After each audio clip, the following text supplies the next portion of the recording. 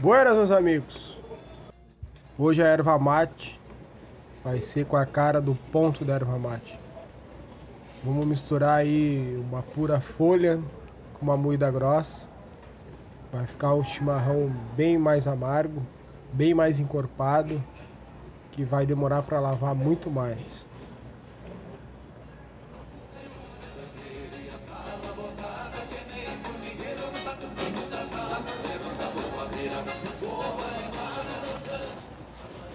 Essa aí é uma das misturas que a gente mais vende aqui na loja. Uma erva mate de fundamento. Erva vinda aqui do nosso interior do estado. 90% das nossas ervas é de Lópolis, Arvorezinha, Dr. Ricardo, Fontoura Xavier. Essa em especial vem de Arvorezinha.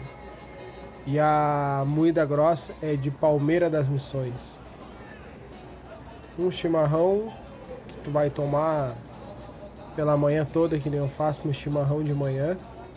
Fico até uma hora da tarde tomando. É quando eu paro para almoçar. E olha que erva bem linda. Vem com bastante folha. Fica um chimarrão de fundamento.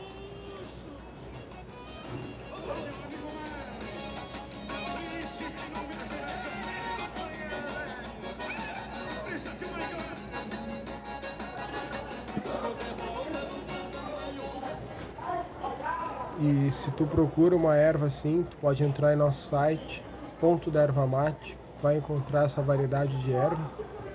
Ou me chamar lá no Instagram, no privado. Também tem nosso WhatsApp lá. Estamos em tudo que é lugar. E claro que sempre tem os engraçadinhos, né?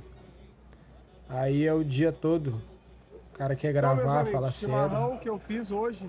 Mas sempre tem um ou dois, né? Na hora que tu vai gravar aparece um. Dá umas falhas também, ó. Quando cai a térmica da mão do peão. Mas não dá nada.